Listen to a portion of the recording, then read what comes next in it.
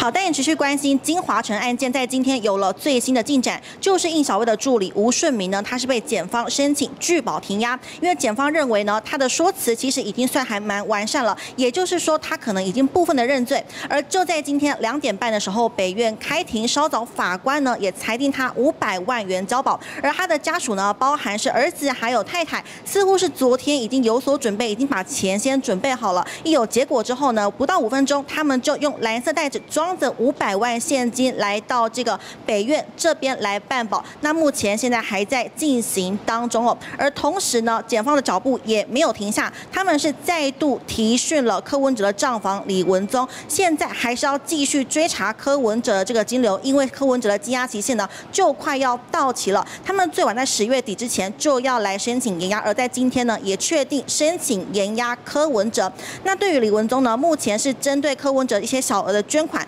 来进行调查哦，而其实今天还有传另外一名证人，也就是基隆副市长邱佩玲，而原本呢他早上就会到廉政署的，但是呢呃廉政署这边是说呢他有事情没有办法来了，所以择日再会约谈他来到案哦。那现在呢李文宗呃目前已经稍呃呃吴顺明呢现在目前呢已经办保结束了，稍后呢就会由家人来带回，那我们也将持续的为您掌握最新的金华城状况。